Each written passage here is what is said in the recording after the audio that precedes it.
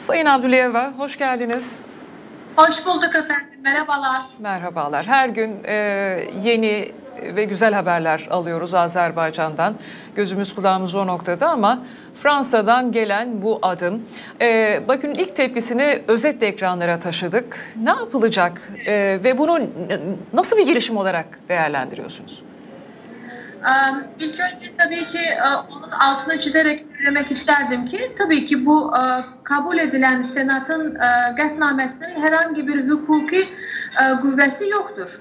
Ama tabii ki senat Fransa'nın karar kabul edici bir kurumudur ve onun kabul ettiği herhangi bir karar politik bakımından ehemmiyet kəsb edir. Və bu siyasi əhəmiyyət kəsb edən bu qərar, hansından ki biz burada tamamilə qərəzli xarakter daşıyır.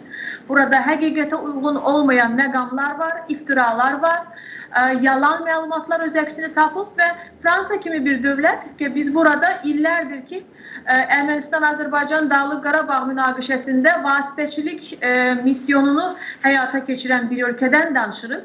Yəni Fransa kimi bir ölkənin senatının bu qərarı qəbul eləməsi tabii ki de Fransa'nın e, bir tarafliliğini, neytrallığını ciddi sual altına almış olur.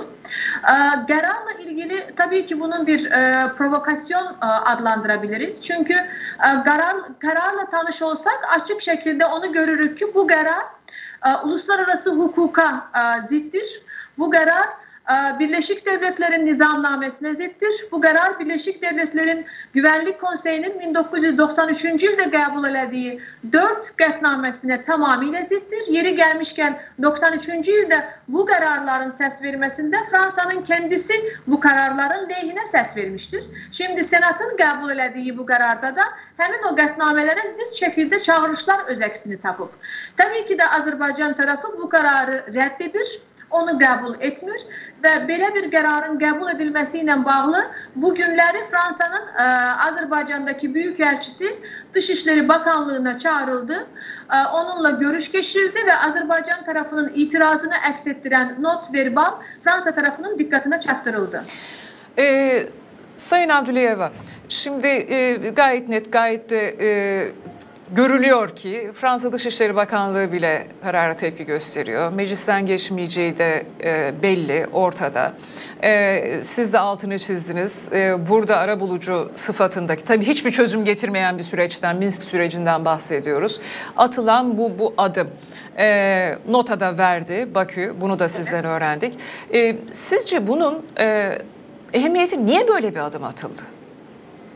Bakın şimdi Fransa'daki e, 600 binden çok e, Ermeninin yaşaması faktını ve güçlü e, Ermeni diasporanın olması faktını her zaman e, göze almalıyız. Çünkü e, senatörler tabii ki e, bir adım atarken tabii ki de bir Ermeni sevgisi olabilir. Burada e, Ermənilər uzun yıllardır ki, Fransa cəmiyyətindən bir hissəsinə çevrilmişlər. Ermənilər eyni zamanda bir elektoral e, qüvvədirlər. Çünki seçkilərdə səs verən e, şəxslardır ermənilər. Bu məqamlar təbii ki də bu elementlər hər zaman diqqətə alınmalıdır. Amma eyni zamanda bu bir növ Azərbaycanın qələbəsindən sonra Azerbaycan'ın Ermenistan'ın işgal altında olan toprakları azat etmesinden sonra fikrimce bir növ e, Ermenistan'a destek olmak amacıyla da atılmış bir adım kimi nəzərdən keçirilməlidir Fransa e, Senatı tarafından. Tabii ki burada iki meseleni ayırmalıyız. Fransa resmi şekilde mövqeyinde her zaman bu ister prezident tarafından 2-3 gün bundan öncesinde edilmiş açıklama olsun. isterse de dün e, Senat'ta geçirilen müzakerelerde Dışişleri Bakanlığı'nın Bakanlığı'nın resmisinin kendi çıkışında söyledikler olsun ki olan resmi mövqeyinde Azerbaycan'ın erazi bütünlüğünü her zaman destekleyirler ve bu zaten bizim iki taraflı e, imzaladığımız senetlerde de özeksini tapır. Ama aynı zamanda Senat'ın böyle bir adım atması tabii ki e, bizim iki taraflı münasebetlerimize de kölge salmış olur.